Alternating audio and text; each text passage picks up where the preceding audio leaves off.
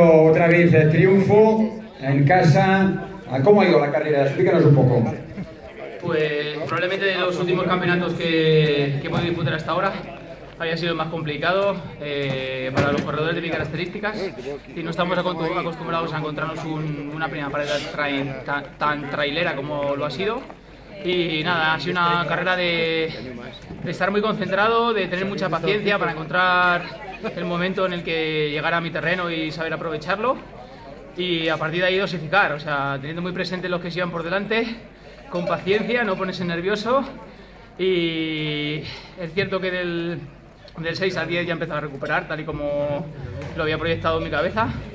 Y la última parte ha sido un poco locura, ¿no? Porque yo creo que ya todos íbamos muy justitos y a falta de dos kilómetros de hecho, pues la ventaja y el margen que tenía casi lo he perdido porque me he encontrado ahí una puerta cerrada que no sabía muy bien cómo tirar y he perdido ahí como 20-30 segundos que yo creo que han sido muy importantes.